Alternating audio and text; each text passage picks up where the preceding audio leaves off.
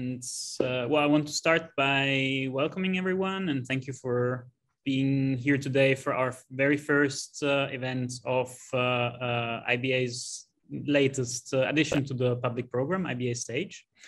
And uh, with IBA Stage, we want to give our members and the wider biennial community an opportunity to encounter projects which you might not have the chance to visit throughout the work uh, and through the words of uh, their makers. Uh, it is an event series born out of the out of our desire to give everyone the possibility to experience each other's projects and to stay true to our commitment of promoting biennial making worldwide. Uh, we imagine it as a space uh, shaped in a way uh, and form each biennial will feel more comfortable with. Today's event uh, will have a short Q&A session for those in the audience, uh, uh, for those in the audience that is moderated by the, by the IBA team taking place uh, after the presentation. It will also be live streamed uh, through our social, social media outlet and recorded to allow a wider audience to experience today's uh, featured biennial. And as a reminder, uh, members who are interested in presenting their projects through IBA stage in the future are encouraged to contact us through the info at uh, biennialassociation.org email. So for the inaugural event, uh, I am very happy to have with us uh, uh, Dr. Samantha Lackey, uh, director of the Liverpool Biennial, and Manuela Moscoso, curator of the 11th edition, titled The Stomach and the Pork and the Port which took place between March and June this year, with some extension until September. We will hear from them soon. And during the presentation, just a few um, uh, house rules, let's say. We ask you to keep the cameras and microphones off, uh, and you're more than welcome to turn them back on after the presentation for the Q&A session. So during the during the presentation today, um, Sam, uh, Sam and, and, Manuela will discuss the challenges of delivering the the, the um, Liverpool Biennial during COVID nineteen times, and the shifting of the biennial's conceptual framework alongside the experience of the pandemic. While the physical exhibition has officially closed, I hope today will offer an opportunity to experience selected aspects uh, of the biennial while providing a chance to speak directly with those responsible for making it possible. And uh, I will briefly introduce you both before we start the presentation. Uh, Dr. Samantha Lackey is director of Liverpool Biennial. She was head of collection and exhibitions at the Whitworth in Manchester, where she was senior lead on the leadership team. Previously, she was curator at the Hepworth uh, Wakefield, where she delivered over 40 exhibitions over four years as part of the team that opened the gallery in 2011 to critical acclaim. She received a PhD on the subject of surrealism in 2005, which was the context uh, for her work uh, as a lecturer, research fellow, and her first exhibition at the Whitworth, Subversive Spaces, Surrealism and Contemporary Art. And Manuela Moscoso, uh, who was the curator of the last edition of the Liverpool Biennial in 2021, uh, before that was a senior curator at uh, Museo Tamayo in Mexico City. And previously, she was the associate curator of the Bienal de Cuenca um, in, in its 12th edition in Ecuador, and the co-director of Capacete, a residency program based in Brazil, where she also ran the curatorial program Typewriter. She's the co-founder of uh, Zarigüeya. I hope I pronounced that well. Uh, a program that activates relationships between contemporary art and the pre-Columbian collection of the Museo Casa uh, del, Alabado, del Alabado in Ecuador. So after this very brief presentation, I am extremely happy to leave you the floor and hear more about uh, um, what happened in Liverpool this year. Thank you. And thanks so much, Christian, for the invitation for us to be the first, um, not guinea pigs, but the, the first um, biennial to present within this series. We're really delighted to have this opportunity to share you know, every opportunity that we have really to share the biennial that everyone works so hard to make happen here in Liverpool. And thank you everybody who's here today as well. It's really lovely to be here in this international community. My first time really. So yeah, thank you all for coming. Um, I'm going to hand over to Manuela in a minute just to talk through the presentation because as many of you know, I didn't come to the biennial until relatively late in its process um, in December of last year. But I was completely honored to be involved in the project and in developing and delivering the biennial in quite difficult times that we've all experienced over the nine venues that we had in Liverpool. And that's with our partners across the city, our institutional partners. So, as some of you may know, we work with Tate, we work with the galleries Open Eye, with Bluecoat. Um, we worked with the Central Library and the National Museums, and we also had three of our own venues. Um, but that in itself had changed relatively recently um, in the process of the biennial as well. So perhaps we could talk a little bit about that. Um, and I'm glad to say that we're just sort of working on our evaluations of the biennial now. And I've come from a meeting um, with the partners in Liverpool where um, the biennial's role for reopening the city was acknowledged as really significant.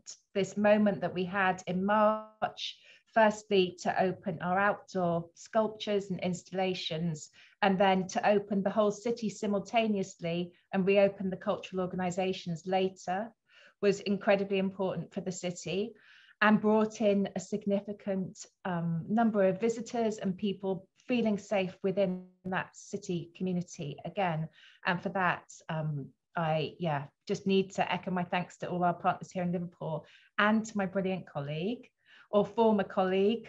Uh, it's really lovely to be with her again, quite frankly, even if it's only on Zoom, um, Manuela Moscoso, who I miss terribly. So I'm going to hand you over to her now to talk about the biennial, to introduce um, the, some of the ideas, some of the challenges, and to give you all an idea of what we did manage to achieve here um, with the help from all our partners, both in the UK and around the world.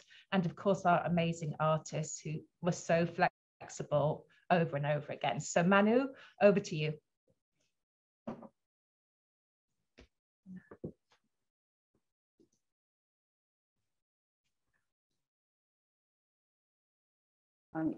Thank you. Thank you for these amazing presentations, and again, thank you for this invitation. As Sam said, eh, we are we are very happy every time somebody invites us to tell a little bit about the experience of doing this biennial. And I, and I guess for any biennial that had to happen in this period of time had to face significant challenges to be able to kind of realize the projects that you know were on you know in the process of being made and while at the same time keeping you know like an integrity of the project i think was very challenging for everybody um, I, I, just to give you a little bit of context uh, in terms of like the timeline of the Liverpool Biennial, I was invited to, to do the biennial in July 2018 and start working in November 2018. So let's say when the pandemic hit, the biennial was very much formed. We were really into the execute, execution, you know, like usually uh, the, the speed of how you execute gets really tight at the end. So we were exactly in the moment that we had to put our fifth gear, and the project was pretty much well formed. Um, so the stomach and the port, uh, it referred a little, you know, something that I came from Latin America after living in Latin America. And uh, specifically in 2018, I started to really be interested uh, to think very much uh, in relation to what was happening in America at the time, which was a turn to the right, and where many vulnerable bodies became vulnerable, even more vulnerable because of the you know sort of political landscape that was happening in Latin America. And uh, I came to Liverpool with a desire to really think about uh, notions of the body and how what we conceive as a body has been, you know, over centuries being shaped and normalized. And it was Liverpool, an incredibly important city to think about those ideas. Um, so we had 50 artists uh, and collectives invited to do. Uh, from England, it was more or less 10 uh, of those 50, and the, the, the, other artists came from different places from the world. And uh, what we did, which uh, I'll, I'll, try to share, um, uh, I will try to share just because I will show you first a video. Uh, what we did is we particip- we uh, occupied nine, um, occupied, or we were uh, as well, um, did exhibitions in nine venues, uh, which were previously 15 venues before the biennial. So the process of changing uh, pre-COVID to post-COVID was quite significant. We not only kind of shrink, but it was much more of idea of consolidation of, of the spaces because we were thinking on the difficulties to have like a track and trace on those days of like how do we track and trace everybody that goes to 15 places? And the idea of consolidation it made completely sense. So in a way we had or i had to redo the exhibition as a form many many many times within the months that we had to reshape although many of the projects remain the same uh, for that, we are going to start with one video just to give you like one sense of one of the strategies that we did in order to amplify the work that was the exhibition making in sort of each venue. We are going to see one of the venues, which is the Cotton Exchange that refers to, uh, I will explain it there, so I will not repeat. And uh, we have in the website curatorial tours from each of the spaces that we try to do like as short as possible, but somehow giving a sense of what it is to make a show. As you, it's very difficult to translate the experience of a place into a virtual um, uh, sphere.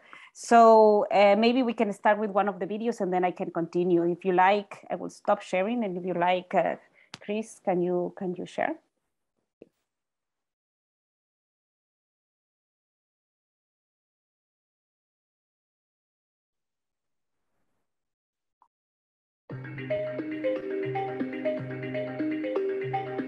We are in the Cotton Exchange building, a historical building that was built in the early 20th century. In the 19th century, Liverpool emerged as a central to the cotton trade, and by the early 20th century, it held the largest single stock of cotton in the world. This former cotton exchange building is symbolic of the moment in the city economy and societal history. The building is explicitly and integrally tied to a time where wealth and economy, prosperity depended upon forced movement of people, enslavement, trade, and labor. The works gathered in this venue address the long-term impacts of the mass and forced dispersion of African people in different American contexts, Colombia, Brazil, and the United States. They do so in a number of different ways, from critical viewpoints of the effects of racialization of humans as a tool for domination, through to building forms of resistance and empowerment across borders.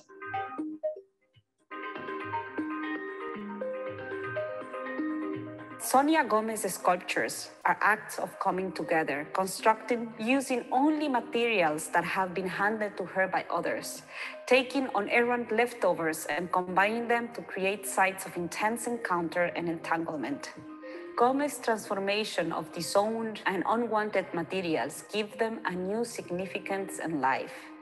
The sculptures metaphorically bear the memories of the material's original owners, and every material is imbued with latency of life. Xaviera Simmons' extensively research into colonial history informs the work in her Sundown series, which juxtapose black and white historical imagery with floral backdrops and patterns of contemporary life in the USA.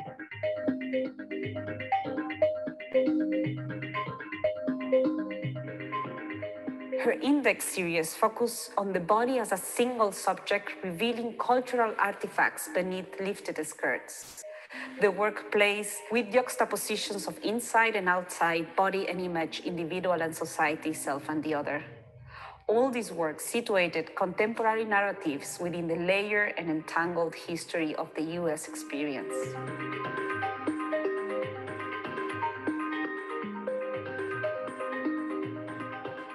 Work by Invernomuto and Jim C. Nedd is based on Colombia Picó music culture from the northern region of Colombia. The new immersive installation centers specifically on the village of Palenque, which was the first free Africa town in the Americas, established in the 17th century.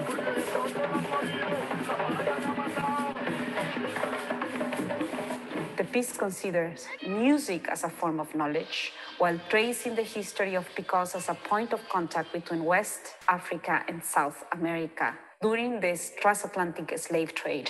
Concerned with how our bodies register experience, the editing patterns of the film reflect some patterns of hair braiding, which were developed by slaves to transmit secret messages as a tool of resistance.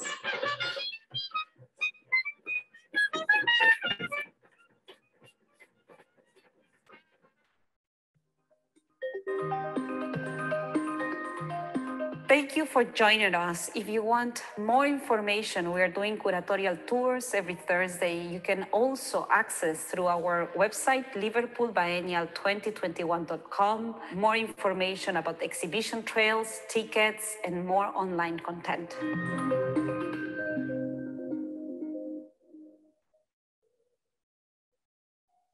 Thank you, Chris. Um, so these are the videos that we did for each of the venues. Like I said, um, I'm going to share now uh, my uh, screen and give you just a walkthrough. So as you could see in the in the video, many of the concerns that I came, let's say, from Latin America to Liverpool, where uh, you know it was a very important site because somehow it was a, an investigation, I would say, of the different ways that um, you know the Eurocentric form of understanding the world and uh, understanding the body has um, created certain um, binaries and bifurcations uh, in our in the reading of our world. So somehow many of the artists were looking from different perspectives how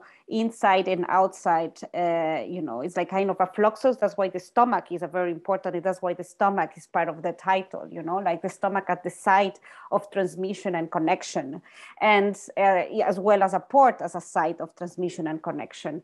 So uh, what i tried to do with the biennial was creating through the practices of, of, others, you know, like through, let's say, the provocation of thinking what a body might be and what a port has, and what the port of Liverpool has to do with the definition of a body today, uh, was through the research and the commissions. We had like 27 or 28 new commissions uh, among the artists that we invited, thinking about the fluidity of bodies, the transformation, the kind of uh, for me it's very important to think like a body as like is constantly you know eating the outside and transforming both itself and the and the environment where where it is.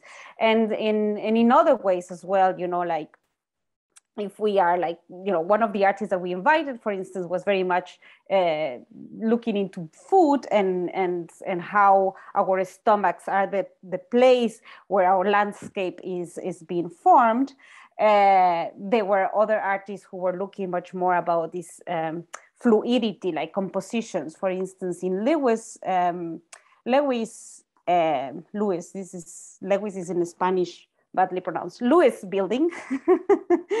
Lewis Building, which was like one of our main venues in the biennial, is an old, was an old department store that uh, that kind of is one of these historical places that have been closed for, for many, many, many years. And we were lucky enough to be able to actually host uh, like 17 artists there which would also allow us to close many of the venues that we were planning at the beginning to show work.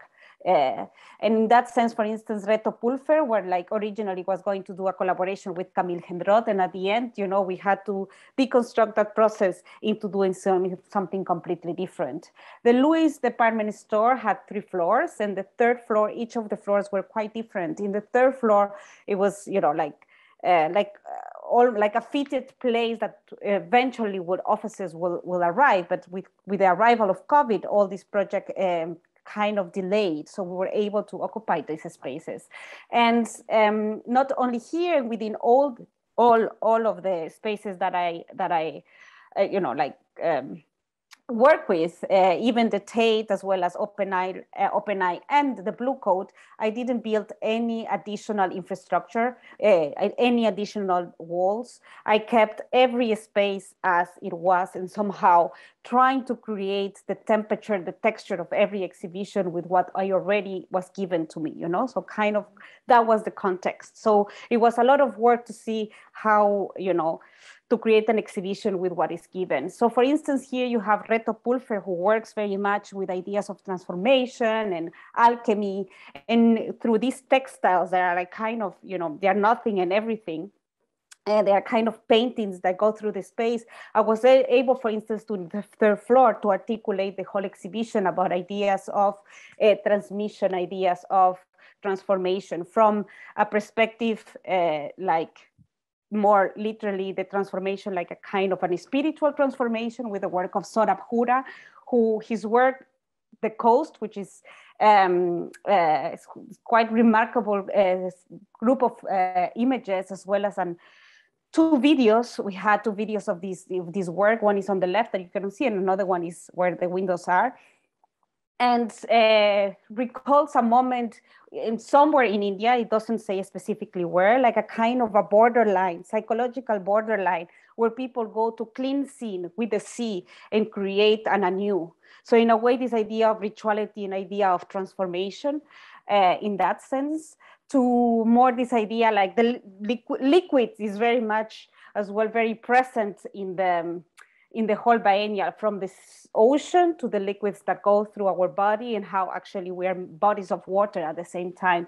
So from Sohrab Hura, you walk through these kind of textiles that Reto had produced to Oluo Junior Shin, who uh, is presenting um, a whole sort of system around uh, spaces of transmission and contamination that for him are the toilets and has to do with some sort of like a queer life where the toilets happens a lot of things and where actually he's taking the idea of urine as something productive and a places of you know not only of transmission in terms of body liquids but also transmissions between the earth and us you know like something that comes and circulates between us and the land um, to more like scientific, like Ane Graff, who does works uh, very much in how um, uh, things um, uh, how our stomach and our microbio like microbiotica like our stomach actually defines our mental health.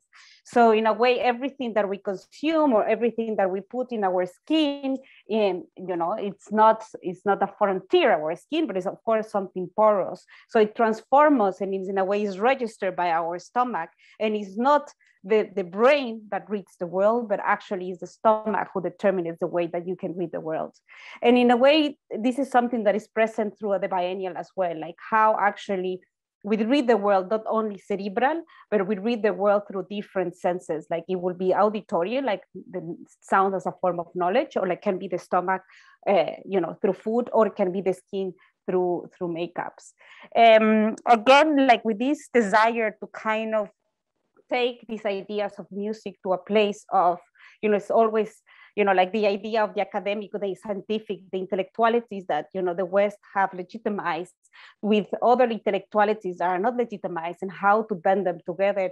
Eric Beltran um, uh, did a project which, which was um, a combination how actually cumbia music that cumbia music maybe you some of you are familiar or not is a, a music from latin america uh, born in you know, in it has is like an Afro intellectuality in many ways, but let's say it was it's it's from Colombia uh, roughly, and uh, he makes a whole reading of the cumbia through an quantum physics um, perspective. So he worked with a quantum physics um, professor, and in a way, the idea of dancing cumbia, and in a, in a way, the way that dan- the, the, the cumbia is described, the sounds that it brings, is really much to take you to a physical experience that is closer to the quantum physics that rather than any, you know, like the most uh, sort of um, idea of the tropical that is actually many times related tropical and fun and and a little bit superfluous that is related this type of tropical music in, in, in, in the world that actually take it to completely a different place. Um, so um, so these are like, for instance, all this, all the, like uh, you had it in like a taxi. This is a project, for instance, that we had to uh, modify as well because of the biennial. So these are like a mural that he did in relation to this uh, sort of synchrony between quantum physics and cumbia, but also we had these um, um, um, I said QR codes that were in taxis all over the city of Liverpool. And certain number of taxis actually had the cumbia music that you could have the full experience of listening cumbia music and his podcast around Liverpool City.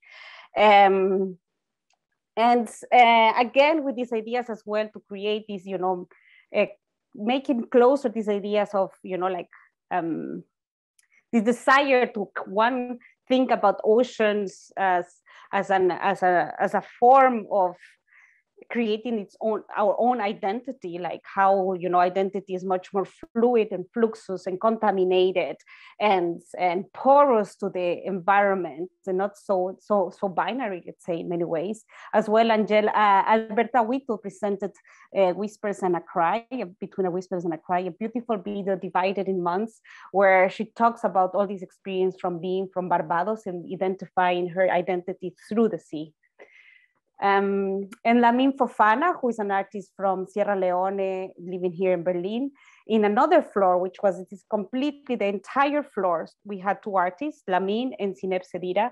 And Lamin did the work that it was um, a, uh, a kind of a translation to the word, the book Zong. I don't know if you're familiar with that, but it's a, it's a book where relate, it talks about uh, the uh, tragical uh, act of a boat uh, with um, enslaved people and were coming out from Liverpool that were thrown out of the sea because the insurance cost more than actually the life of this of this of these enslaved.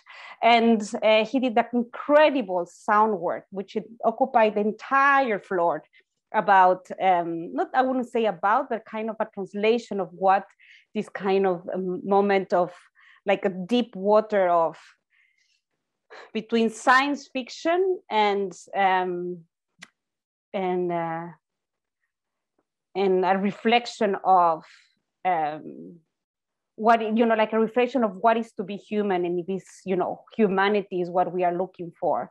So it was very charged uh, sound work. And the next to it was Zineb Sedira with um, a series of photographs from uh, actually Montpellier, where is all the sugar from different places are held in one warehouse. And then, you know, like you cannot see here very clearly, but you can see that the sugar has different colors. So depending from the geopolitics that the geography that they come, they arrive and then eventually they make it white. And sugar, of course, is very important as well in relation to the history of, of colonization for the forced enslavement um, and other um, things, but as well in Liverpool, and this work had to do with one of the collections in Liverpool that at the end we, did, we couldn't show, has the oldest collection of false teeth in, in England and the biggest collections of false teeth. So actually this history of sugar uh, uh, um, sugar uh, exchange. Sorry, my English is not so good today.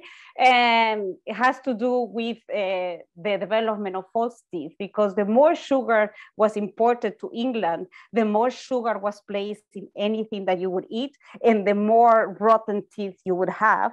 So therefore, you had to create something that will substitute the teeth that were falling because you were eating sugar. So in a way, it's like somehow what I'm interested as well is in these ideas of, you know, like colonization doesn't only happen somewhere else, you know, is this idea that it happened elsewhere. Actually, our bodies are constantly transformed those, for those, you know, because of those processes, historical processes that are undergoing until today.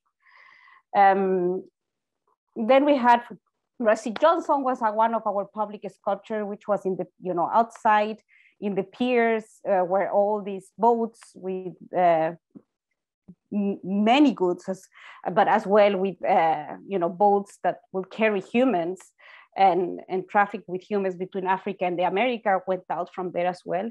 And he did one of his um, series from Stacked, stacked heads um, and he's very much kind of talking about this collective trauma and a kind of being hysterical like you know in a in a position of you know of almost like um, in a position of almost collective position of uh, being okay like kind of surviving but at the same time carrying with you all that history on all that load within your own bodies And Ines Doujak and John Barker, for instance, talking about ideas of transmission.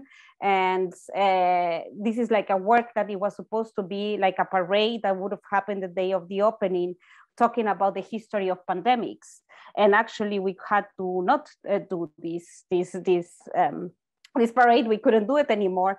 And in a series of podcasts, these are like things that we are transforming. I put it in here as well because we had to go through transformations because we couldn't do them anymore. In a series of podcasts, talking uh, really about the, the history of, of, of transmissions and pandemics uh, the last 500 years, which are quite incredible if you have a chance to see there in the website. Um, we also, for instance, had like at the Tate, we had the work of them where in the Tate, for instance, talking about how to, the, the biennial, the, the um, Liverpool Biennials is very specific because you actually have relationship with different institutions and each institution has a very different nature. So the Tate is very, very different to Open Eye and is very, very different to Bluecoat. They have completely different, you know, uh, forms of working, publics, and missions. So somehow um, my work as well was to actually kind of use that as a potential. And, and in the case of the Tate, you know, they have a great collection and um, so I, I, amplified that as part of, of the exhibition. And I saw one of the works as well from Ines, Ines Doujak and John Barker on the history, Master Voices is the history as well of textiles and music. It's a very elaborated work together with Martin Sims, who is uh, the Bottle Lady that also talks about gestures and sounds and and um, and, and kind of looking at feminists from uh, race perspective as well. And this work, for instance, was from the collection of the Tate. So in a way, I was trying to, in each case, in each venue, somehow see what are the potentials in order to somehow respond as well to the space where I was, you know, exhibiting. Mrs. Camille Henrot in the last uh, in the lower floor of the Lewis's, where, for instance, as feminism and the subordination of the woman's in the body, it's present in the whole in the whole biennial. Uh, Camille Henrot did an incredible new body of works around ideas of motherhood. And, and in this sense was like, well, the liquid here was present, but much more in, in the tone of red, like this idea of the liquid as menstruation, but also the liquid as the, you know, breastfeed and the breastfeed as a connection between the, uh, the breast, like the milk being food as a connection between one and the mother and all the sort of um, consequences that has that into the woman body in the reproduction rights, but also in the way that a woman is defined within a Western form of understanding the body. Um, so, and to end, I would say Linder. Linder, for instance, was one of the artists that did as well, like, uh, and then we can talk uh, um, some uh, a little bit about our experience. But Linder uh, is a Liverpoolian artist. She's a very important artist as well, uh, sort of in the feminist uh, um, arm of, of, of um, British art, I would say.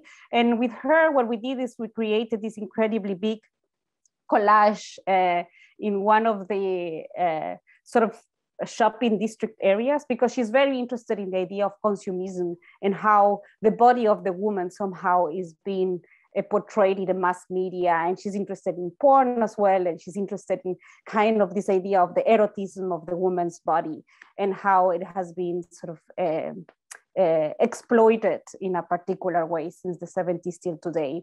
And she did like a, this special mural for us, you know, like, and then she included the stomach as well. So it was quite, quite quite uh, a fantastic uh, piece of work. And and then with that, we did like some performances in a very small scale because otherwise we couldn't do it. And I think with I hope I gave you like some, you know, it's, it's many years of work. in three years of work in, I don't know, 50 minutes. So I hope I give you like a little bit of a taste of the work that we did. But maybe we can actually have a conversation with Sam or, or, or Christian if you want to give us uh, some questions uh, we are, or the, the, the, people who are interested in our conversation also participate in a conversation. We will be very happy. First of all, thank you very much, Manuela, for running us through three years of work in uh, uh, just over 25 minutes. So yeah. I think that was, that was a brilliant achievement in, in itself. And uh, uh, I want to, before opening it up to everyone, I would like to go back to uh, the timeline of the project, maybe. And um, because I think uh, having had also the opportunity of, of talking with you, Manuela, just before the pandemic hits and remembering how everything was literally almost ready to be installed. And, and, and uh, it was a couple of months before the, the opening would happen.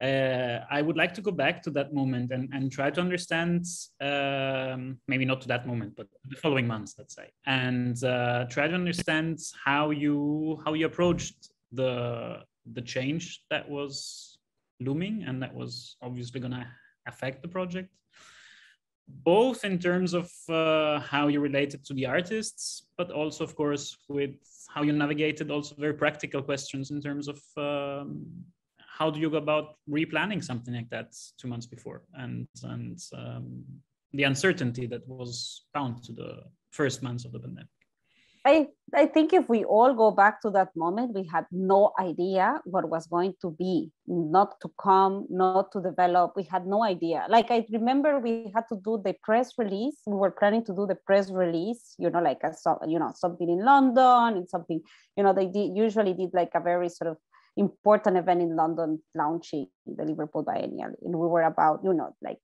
determining the place, etc., etc. And um, and I knew, and then I arrived, and it was like um, my my boyfriend had friends in China, and actually Beijing was already closed, and he told me, "I don't want you to be stressed out, but I don't think your biennial is going to happen this year. I don't think, you know, I think."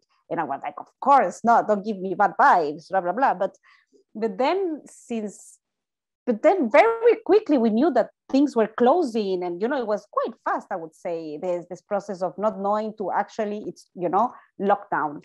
And for we had like one of the artists luisa ungar who did like a she's for instance one of the person who had to change radically her work. She worked only with performances and eventually we did a series of phone calls with her like one-on-one phone calls throughout the biennial. That was like you know with her was like an incredible uh, uh, like effort collective effort to understand how her practice can happen in a pandemic time so i think uh, which I will go back to this, but I think, for instance, she was there researching, and, and we had to buy her a ticket because she couldn't, you know, she couldn't change the other ticket because the, you know, everything was crazy. So, I think at the beginning was just like everybody should go home and be feel safe.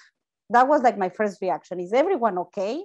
Like it's, it's like uh, we don't know like this is crazy but it's you know with luisa was like okay we buy you tomorrow go tomorrow go go go now you know like we have no, idea. So it was more like about uh, feeling secure. The second thing it was like already i remember that people were thinking okay so we postpone it for a couple of months and we're like but we don't know. Let's try to actually my uh, emphasis was like let's see what artists are in the moment. We should pay all the artists their fees because probably you know i didn't know if the biennial would even happen you know? So let's pay the fees to the artists because they already counted with that support for this year and they already did the work you know? So let's just give that sort of, sort of support structure that we can do that. And then and then just you know not let's not talk about the biennial for for as as as as we as until we know what we can do more or less which was also like a couple of months afterwards, which indeed we didn't know anyway.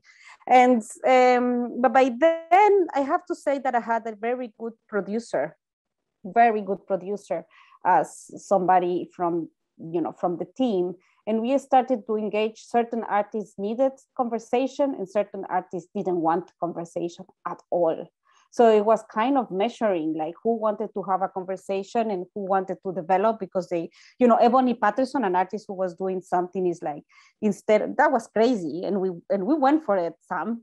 And it was like, instead of like every artist was going small in her work, it started to grow and she lived in, in, in, in um, Chicago, you know, and this is transport cost, yeah. And her work was growing and growing and growing. We were like, oh my God, this is like not going financially for us to a good place.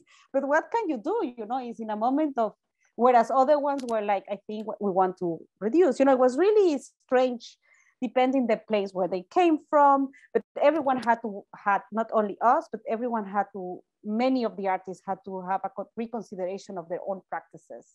And I think in that sense, this kind of eager to be able to finalize something that it was almost there, you could see in the work of the artist that somehow everyone was like, okay, we go for it.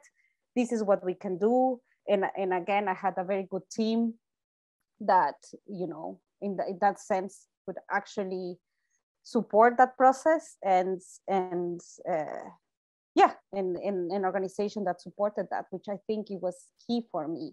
But it was not out of drama. but you know, I can guarantee you. but it was, but it was intense. It was intense, and it was like as well many, many sensations of mourning like I had to let it go many things from the biennial. And for the first thing, I think that what is very hard is that we as curators or artists, we work for the future.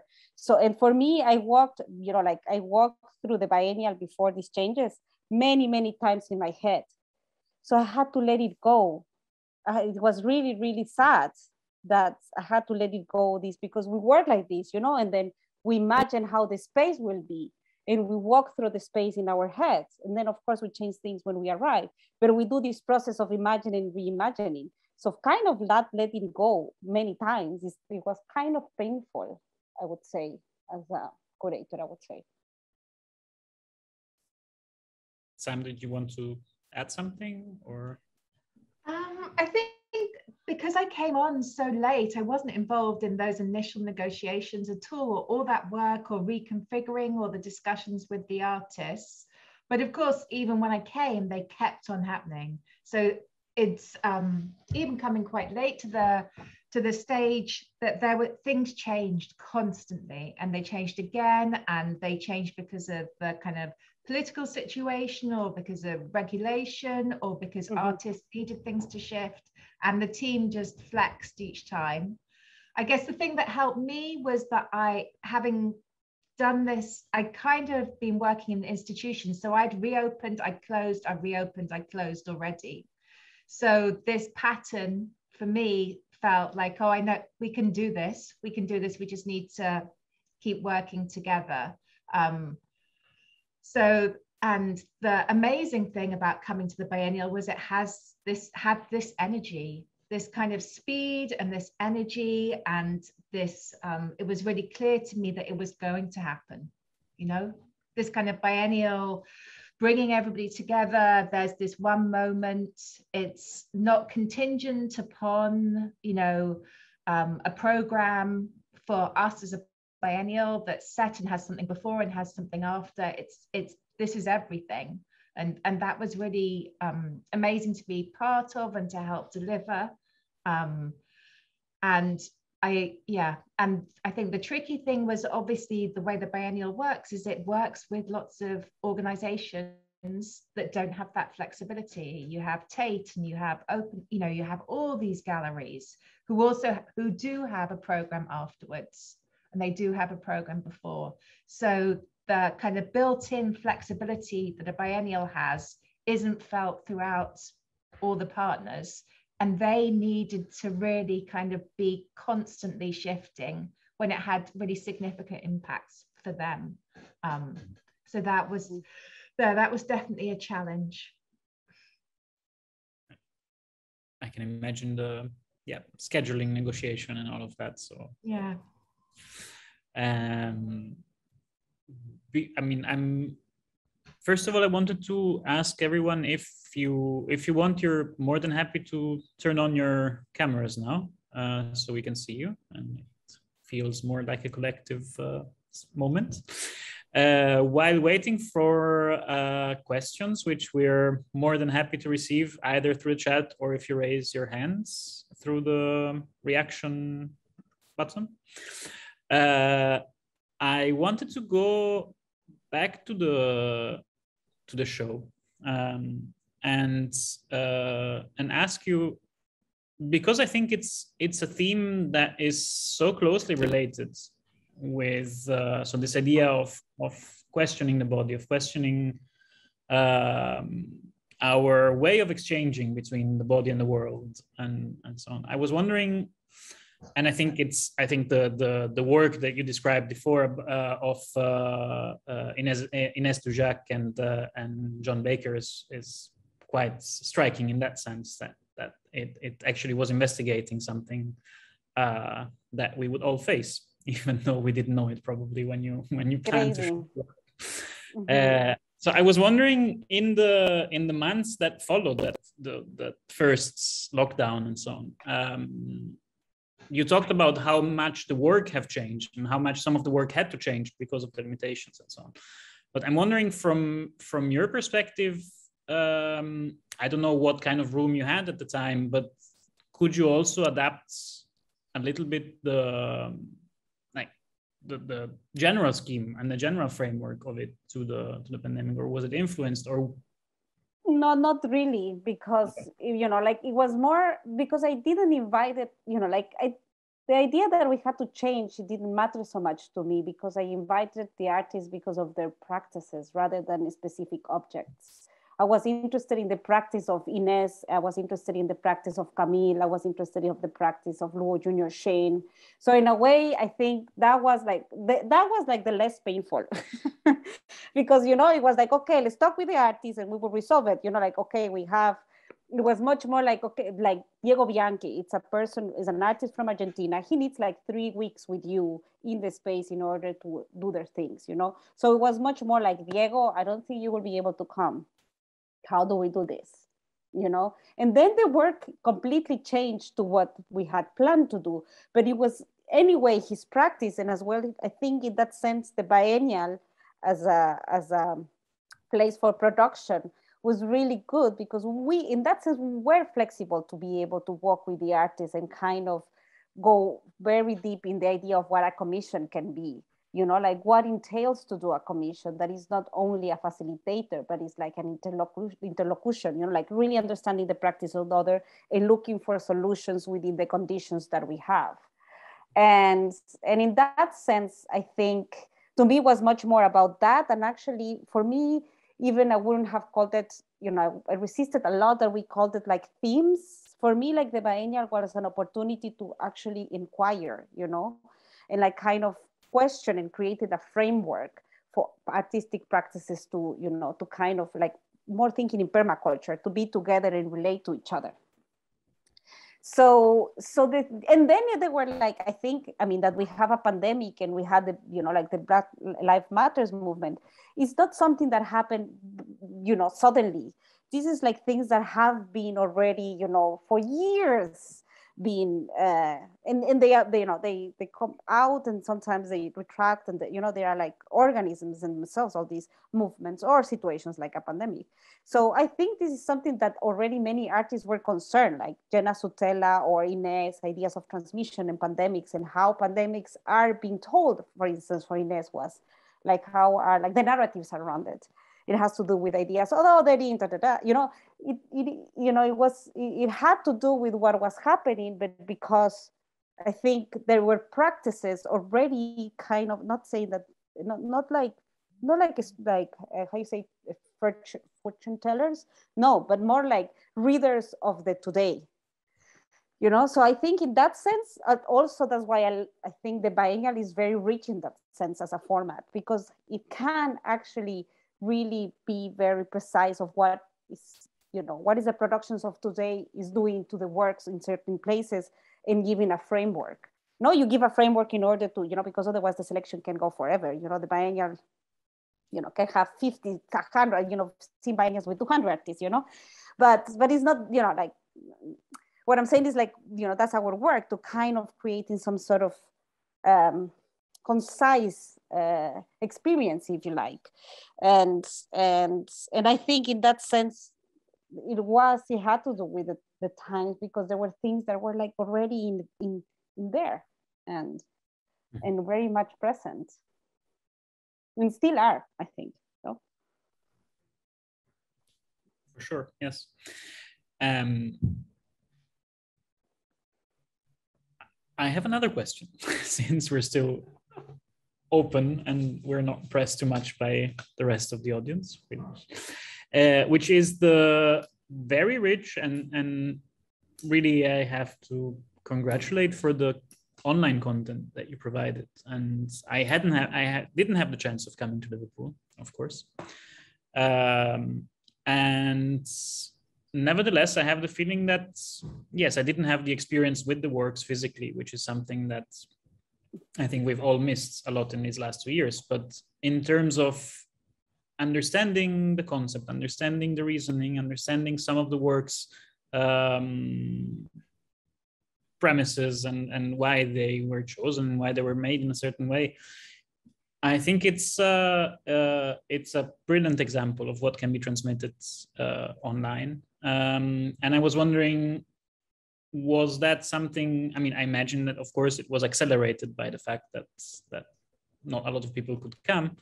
Um, but what was the what was the process behind deciding what to put online, how to put it online? I found the videos uh, of you describing each venue individually and even each floor within the venue amazing because it was literally like following you on a on a, on a curatorial tour. Uh, even though I imagine that was quite a lot of work.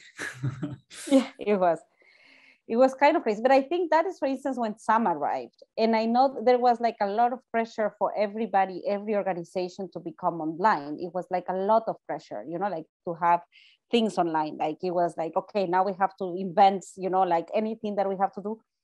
But again, I don't, I, you know, like the, is like the online, it, it has a diff, different conditions. If I would have done like a biennial online, it would have been completely different, but you know, so that's, for instance, when Sam arrived and I was like, Sam, I don't want to do a, like a, a biennial. I mean, like, and Sam was like, because she has this, you know, she also comes from exhibition making. She, at least we were like, I think it was like, phew, you know, she agrees, like, no, we don't have to do that.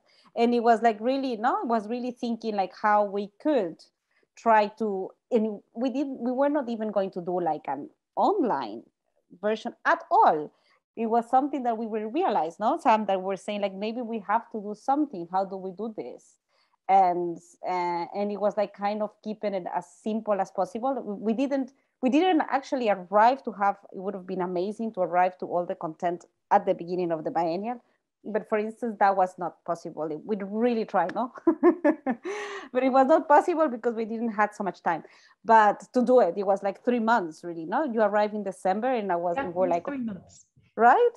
And yeah. we were like uh, how, it was on my how much list. can we do yes. Yeah so when i arrived there were one of the things on my list was what about the digital? There's this channel maybe we don't know what it is we don't know what's going to be on it we don't have any money for it quite frankly.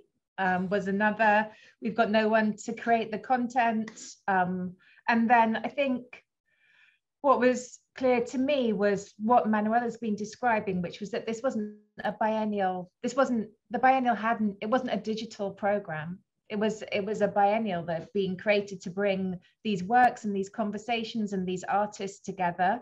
Um, and so it wasn't a way of it was a way of kind of transmitting those ideas without um, saying this is a you know this is a, a kind of um, we use the term portal and i think that was quite deliberate because it was a way to access the biennial. It wasn't the biennial so it wasn't a, a stand-in for it. It was a way to engage just what you described at the beginning christian engage with those ideas and perhaps to give you a way of negotiating and making connections between them.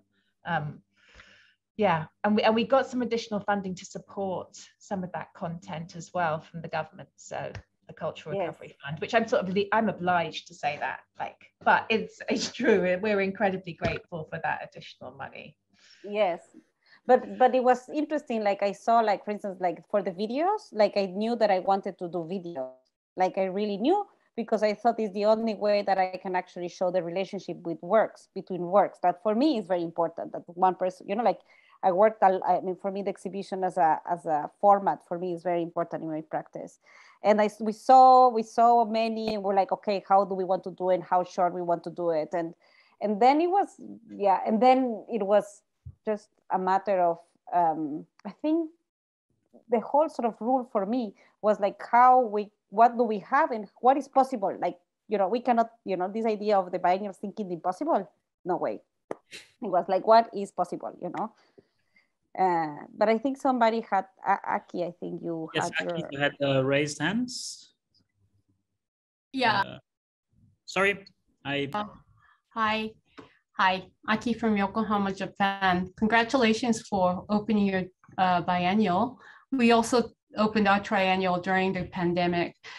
Um, and you partly asked, actually answered my question already about the that balance between the digital and the you know the physical and how you shifted because my issue really was how to balance out um, the digital and physical in a way that as you said we didn't have an additional physical uh, additional funding for digital as well as we didn't you know our team did not have that um, team skill like you know that was additional resources that we had to find so i was just wondering how you try to balance that but i think you answered that but in addition to that my question also goes to understanding how you shifted your um, focus on the audience, perhaps.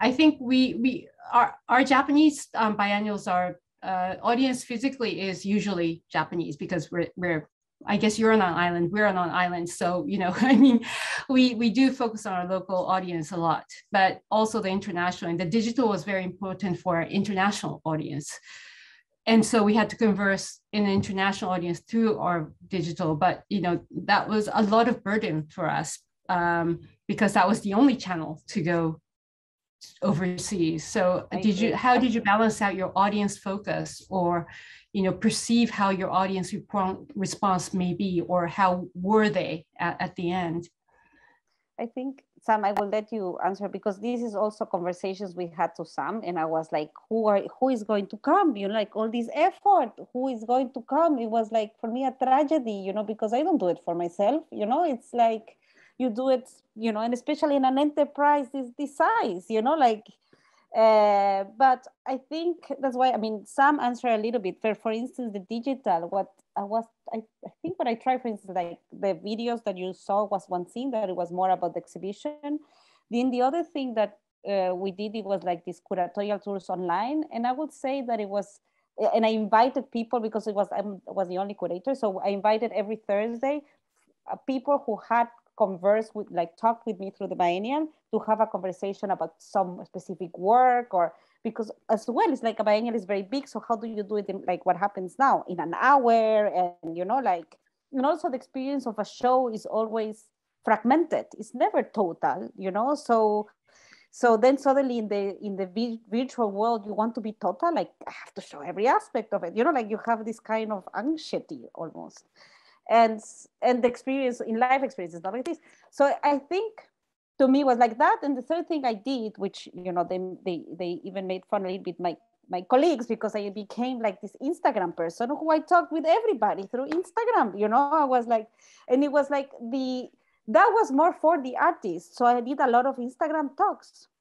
only to have the presence of the artist because in a way what it happened with the organization is that we were like kind of in spiritual sessions that you had to think for the artist, month for the artist. You know what I mean? Like they were not there, so you had to compensate among the team to do that part of the job. So how and I missed them terribly, you know, I personally, you know. And then, you know, these Insta talks were like kind of the way to have them somehow for them psychologically also to feel they participated in the biennial. Um, so and to me they became almost like an audience. It's really weird to think like that but almost like that. Uh, uh, but yeah like i think audiences it was something that to me was always a concern. And i think in that sense sam was always much you know like i had worked for three years and you know was going crazy but sam had you know came like much more like you know it's going to open people are going to come you know like it was much more like this you know? And i think it is true it became a very important you know sam was saying at the beginning an important aspect of you know building up trust to go out which that it was not you know uh, that it was a cultural thing to do that you could do no? Sam i think maybe. Yeah I, I think so. There was something about that. And i also wanted just to mention that you talked a little bit about loss at the beginning, like a loss and then a loss, and losing the audience, losing who we thought would come was a loss. And that was much harder for everybody in the team because they they'd lived with that the, the what you know kind of manuela described this kind of almost this kind of psychical projection of of how she'd and all these losses and my losses weren't so intimate because i came in at this stage so there was a much more pragmatic response which is just we are we are going to do this and we will have audiences and if it doesn't open then we'll open it then. And we will market it to local audiences and spend our money here. And we will you know i think the digital what was manuela was describing about the digital is interesting because there's despite what we were saying earlier there's this kind of compensatory um, aspect of it as well. So how do we make sure that each artist is represented um, in a dialogue as well as through a video. It's not you know it's not the same. How do we try and make those connections? Or you know the thing that we couldn't do is we brought the artworks together but we couldn't bring the people internationally together in the same way. Um, and now of course we know really clearly what our you know what our audiences were and they were local and national. A large majority of them were national so not as i'd expected it to be more locally balanced but more national and we had just 2% international which I am delighted with. You know, you couldn't even get to the U, you know, it took so much effort to get to the UK that that 2% um, is, I'm just delighted with. And like you, you know, the digital audience, international audience grew phenomenally. And that was the way that we connected the ideas, curators, you know, Manuela did a program, a kind of program where she brought young curators together to discuss ideas with thinkers around the biennial. Um, and that was another way of trying to um, have those conversations that we would normally have in person online as well. So all those things sort of came together. Um, and someone asked about funders as well. Um, and the funders, yeah, the funders were really supportive. So um, despite the fact, obviously, we have far reduced visitor figures, that the artists perhaps didn't get, you know, the exposure that was part of every single funder. I mean, the team here um, spoke with all the funders and updated them about what was happening and suggested ways of, of doing the things that um, had been committed to. But all those funders came through. But of course, what they, they came through with the money that was committed to the biennial. But of course, um, the biennial cycle, the way it works is, it you know, delaying it for a year means you've incurred another year of costs that aren't budgeted for. Um, it's not like an institution. It's not you're not making savings. You're just your expenditure is growing exponentially. Um, so that was really, you know, as it was is being for everybody in the biennial field, like incredibly difficult. Um, and again, we did manage to secure additional funding from the government to support those costs. Um, so which was which happened after I came on board, so that happened really quickly. Um, yeah. It's, uh, yeah, I think that described uh, all the difficulties on, a, on an institutional level, let's say, of of facing it. I think we just uh, scraped the surface of all the difficulties. to, be, to be honest, like, oh my goodness. No, yeah. it was such an intense experience. And um, yeah.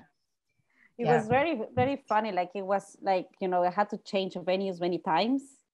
And I think that the, by the third time, you know, like if in a not, let's say it would have happened in the first, but without pandemic, one time it would have been like such a huge crisis. Yeah. Like I would have, you know, like collapsed and, and, in this one, I was like, okay, we had to change. Okay, how do we do it? You know, it was like much more like, okay, it doesn't, you know, this is like nothing, you know, like we can do this. So in, you know, it was like kind of interesting to see how crisis even plays when, you know, within our own sort of work culture as well, you know, like, uh, yeah, it was kind of interesting that, you know, like uh, how we received, let's say, the bad news, you know uh, previously and now. Now I think we are like uh, a little bit more have more room for bad news, I guess. yeah. Or they are not as bad. Yeah. Hmm? Well, I want to use the last occasion to ask everyone in the audience if they have extra questions for Sam and, and Manuela. if that's not the case, I would like to really thank you both a lot for for your time, uh, for the effort, for all the content that you provided online to us and everybody else, and um, yeah, wishing you a great uh, 2023 biennial in Liverpool. Hoping to be able to experience it live, and uh, yeah, to all your project Manuela as well, future projects. and um, yeah, I'll uh, think we can. Thank you, thank you everybody thank you for so much, yeah. Christian. Thank you, everybody. Thank you, thank you for the invitation and for the interest. Ciao. Yes, June you. 23. June 23. Yeah, yeah, 23. I will be there. See I you will in be there. Liverpool. Ciao. Ciao.